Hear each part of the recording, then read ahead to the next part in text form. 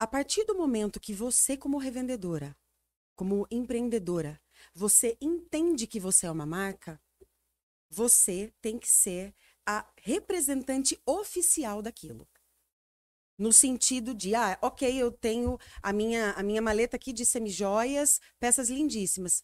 Mas cadê você usando? Se você não usar, dificilmente você vai conseguir vender algo que você não acredita, ou não usa, ou não, não tem o perfil. Então, a primeira coisa, você é uma marca. Acho que Não, isso é fundamental.